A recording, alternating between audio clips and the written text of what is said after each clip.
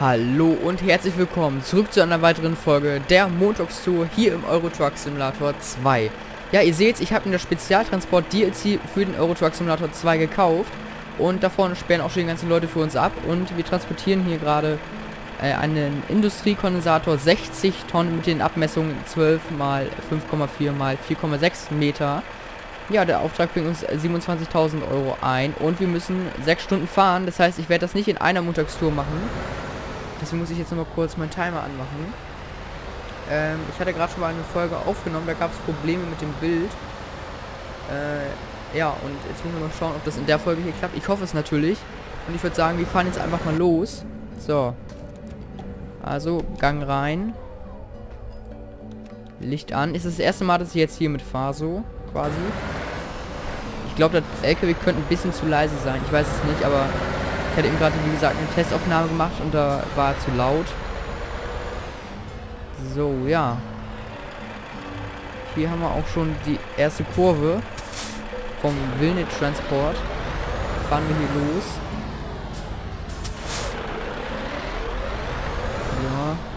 Ja. Ja, ich blink natürlich erstmal in die falsche Richtung. So.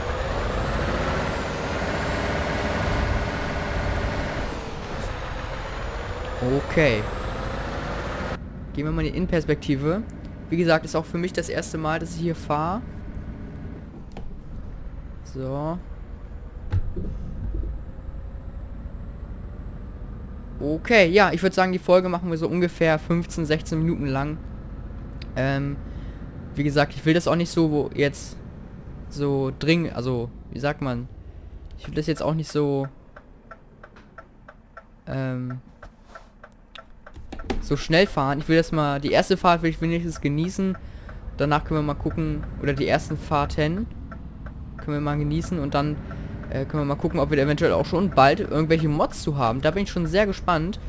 Und äh, ich bin auch immer wieder dankbar an die Community von dem Euro Truck Simulator 2 für die Leute, die uns hier Mods erstellen. Ich meine, man darf ja nicht vergessen, wie viel Arbeit das ist. Ich weiß nicht, ob ihr schon mal einen Mod gemacht habt, aber es ist wirklich schon relativ viel Arbeit. So, aber es scheint relativ gut zu laufen gerade, ne?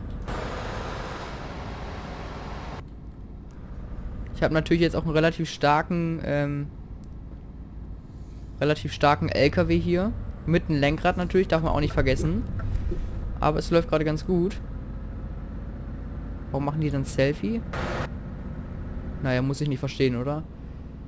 So, und hier sind auch ganz viele Sachen, die machen auch ein Selfie. Mit ähm, Polizei, dass sie zum Beispiel den Kreisel absperrt. Mit unser Begleitfahrzeug hier.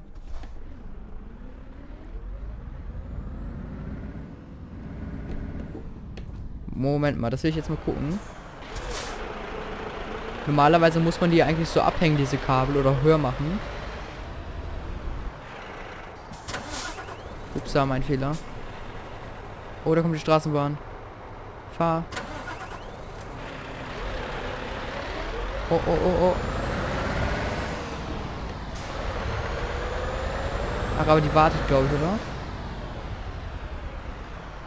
Ich glaube, ja.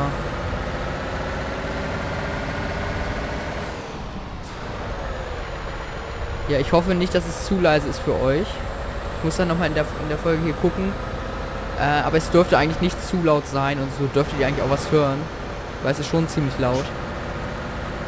Es ist schon geil, wie, wie die hier die ganzen LKWs aufhalten. Das ist schon... Schon nicht schlecht. So, müssen wir lang. Okay.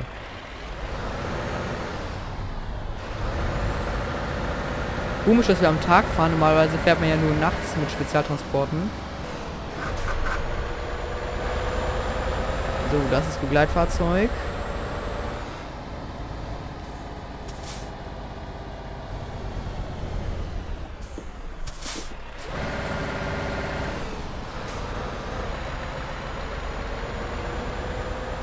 Das ist schon, ist schon geil.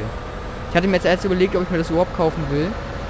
Weil ich mir nicht vorstellen kann, dass das so einen riesen Unterschied machte zu dem Schwerlasttransport-Zeug. Äh, aber mit den Begleitfahrzeugen ist es schon eine Spur interessanter, sagen wir mal. Da gibt sicherlich dann auch bald einen Mod zu, dass das andere Fahrzeuge sind. Da bin ich auch mal gespannt dann. So, und was haben wir hier eigentlich im LKW für Anzeigen? Ist das der LKW, den wir schon mal hatten?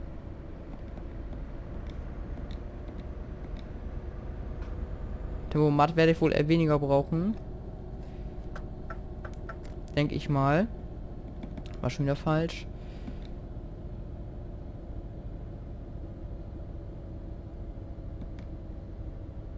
Wie sehen wir den Druck, die Temperatur?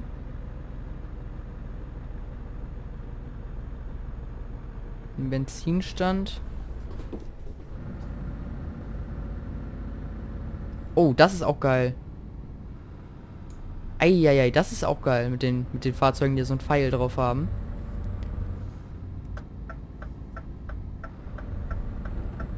So, hier geht's zum Airport. Okay. Aufliegerschaden? Warum? Aber wir so ein Schild, glaube ich, angefahren haben, ne?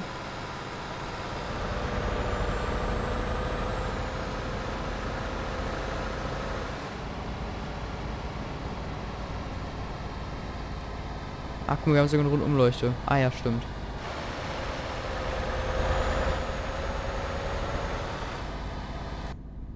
So, hier dürfen wir ja wohl mal rüberfahren. So. Tja, schon interessant, zu was sich der Eurotruck Simulator momentan entwickelt hier, ne? Immer mehr Schwertransporte und so. Ich bin echt mal gespannt, was da noch alles kommen soll. Und da hebt gerade ein Flugzeug ab. Sehr schön. Da stehen noch ein paar.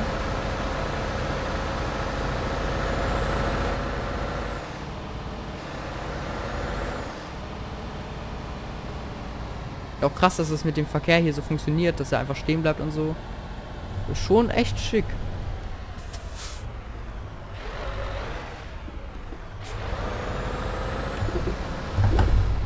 So, jetzt wieder das Lenkrad, was hier ein bisschen Lärm macht. Ich habe mein, äh, mein Mikrofon jetzt auch mal umgestellt. Ich hoffe, ich bin immer noch genauso laut. Äh, weil das ging immer Lenkrad nicht mehr weil ich meinen Schreibtisch umgestellt hatte. Und deswegen musste ich das Mikrofon woanders hin machen und dann konnte ich dabei aber eigentlich nicht mehr lenken, weil ich dann immer dagegen gekommen wäre. Das wäre natürlich nicht so geil gewesen. Und jetzt habe ich das nochmal umgestellt. Und jetzt funktioniert das ein bisschen besser. Kann man so sagen. Also ich hoffe, es gibt jetzt nicht so Sachen wie, dass ich immer gegen das Mikrofon hau und so. Und ich hoffe auch zusätzlich, dass ähm, die Aufnahme lagfrei ist. Ich hatte nämlich auch Probleme letztens mal mit, beim Aufnehmen, dass es geleckt hatte in der Aufnahme, aber im Spiel nicht. Ähm, ja, müssen wir mal schauen. Aber ich habe hier konstante 60 FPS gerade drin, hier äh, in der Kabine.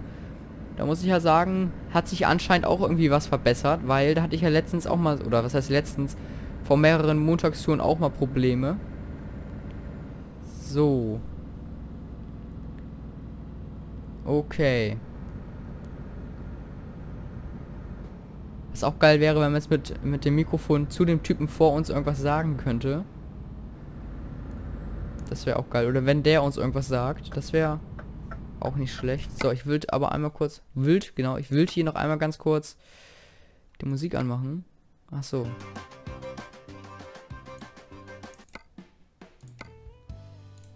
So. Okay, hier sollen wir einmal abbiegen.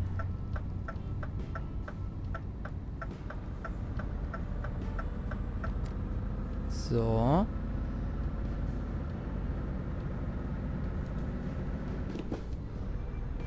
Okay. Na, warum fährt er denn vor uns so langsam, ey? Ich habe mich vorher auch noch nicht informiert oder sowas. Das heißt, ich mache das hier alles komplett so. Und der winkt da auch schön. Okay. Das ist schon interessant, was die hier so am, am Straßenrand gebaut haben.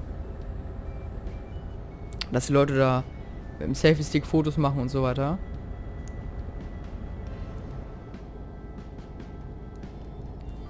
So. Uh, der kommt aber weit rüber.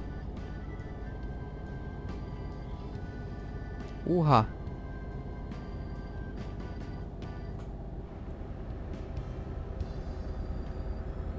Ich mach mal den Tempomaten bei 60 rein. Was sind da alles noch für Zeichen gekommen jetzt? Tempomat und irgendwas anderes. Georges Radio hören wir gerade, okay. FM 91,9. Wäre mal interessant, ob es das wirklich gibt, ne? Das wäre echt mal interessant.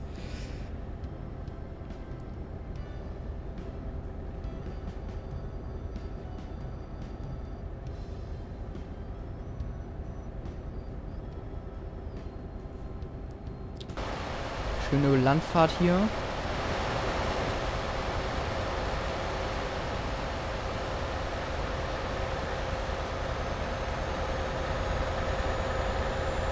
Da stehen auch welche am Rand da vorne. Was machen die denn da?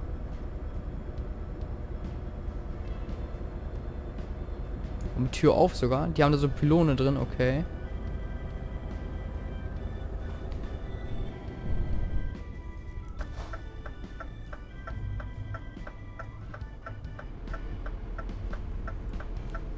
So, erfolgreich um die Kurve, würde ich mal sagen. Da gibt es bestimmt auch irgendwann mal extrem richtig lange Frachten so. Wobei, das stelle ich mir auch schwierig vor mit dem, ähm, also zu modden, mit dem Kollegen hinter uns, mit dem, Begleit, mit dem Begleitfahrzeug. Weil ich weiß nicht genau, woher den, der den Abstand bezieht, ob er es vom Ende der, äh, des Anhängers bezieht oder ob er es vom Ende des, ähm, der Zugmaschine bezieht. Weil das wäre natürlich doof, wenn der die ganze Zeit richtig knapp am Anhänger ist bei euch und dann bremst, kann er nicht schnell genug bremsen. Ja, und dann ist er hinten drauf. Wir haben schon ja 2% bekommen. Ich weiß nicht warum. Also 1%. Also insgesamt haben wir jetzt 2. Ich weiß nicht warum. So, Lenkrad rastet auch wieder aus. Aber das haben wir auch geregelt.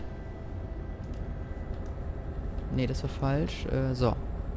Ja, Zusatzspiegel, ich weiß noch genau, wo ich in irgendeiner Montagstour mal so ein, zwei Challenges gemacht habe und wo ich dann ohne Zusatzspiegel gefahren bin. Und ich das total schwierig fand und mittlerweile ist es echt zur Gewohnheit geworden, dass wir ohne Navi, ohne Spiegel und so fahren, ne? Das finde ich schon nicht verkehrt. Ich meine, so macht es mir auch persönlich mehr Spaß, wenn ich ehrlich sein soll. Ist natürlich vielleicht nicht so toll zum Zugucken, ja, wobei ein Unterschied macht es eigentlich nicht. Also wenn ich Euro Truck Simulator Videos gucke, gucke ich eigentlich kaum in Spiegel, sondern gucke eher so zu oder äh, also gucke eher so beim Fahren zu, also raus oder äh, höre einfach nur zu. Äh, ich gucke auch viele YouTube-Videos einfach nur so, um zuzuhören. Ich weiß nicht, wie das bei euch ist. Ob ihr YouTube-Videos immer guckt, also hinguckt auf das Handy, auf dem Computer oder sowas. Oder ob ihr es manchmal auch einfach nur neben euch legt und ähm, zuhört. Also ich rede jetzt nicht vom Podcast, ich rede auch von so Videos, äh, wie ich gerade mache. Also Gaming-Videos. Weil oft äh, sind auch interessante Themen bei. Ah, guck mal, eine leere Zugmaschine. Die sind auch neu, glaube ich. Also ich habe die vorher auf jeden Fall noch nicht beachtet.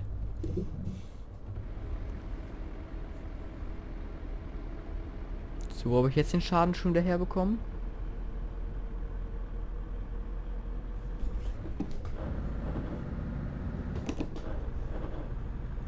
Schalten wir mal zurück.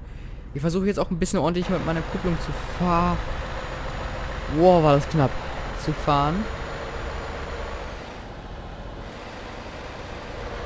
Ich versuche auch mal zur nächsten Folge Informationen zu diesem Teil hier rauszusuchen, was wir hinten drauf haben. Dann können wir da vielleicht ein bisschen drüber reden.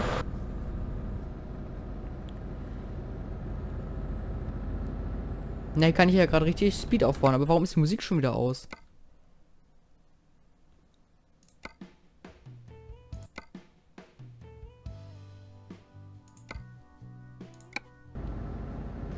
Hm, komisch. Aber jetzt fahren wir hier einen schönen Sonnenuntergang mit unserem Begleitfahrzeug vor uns.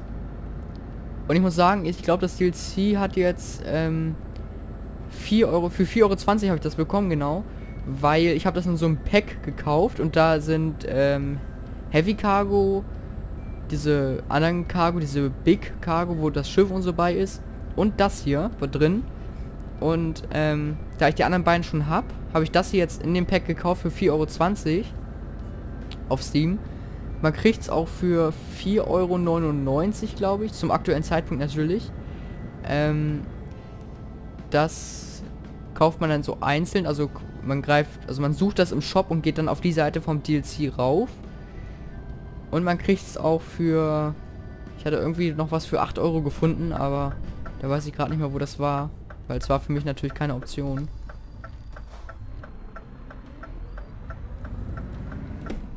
Wir müssen mal ein bisschen ausschwenken. Ah.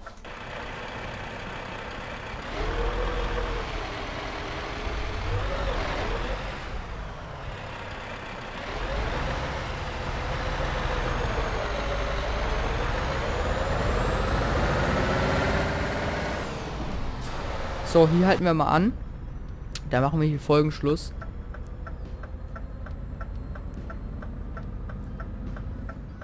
Weiß gar nicht, wie das ist mit dem Begleitfahrzeug.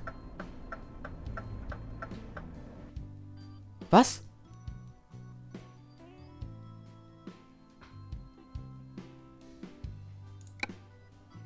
Die Route wurde verla... Ja, gut. Dann wissen wir das auch schon mal. Wo ist denn der letzte Speicherpunkt jetzt gewesen?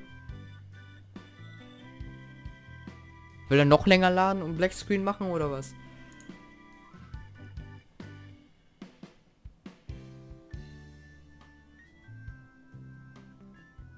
Hallo? Kommt auch noch mal was?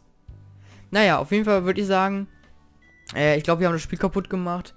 Und ich hoffe, wir sehen uns beim nächsten Mal wieder, wenn es wieder heißt, wir spielen hier ein Schwerlasttransport. Bis zum nächsten Mal. Euer Jan.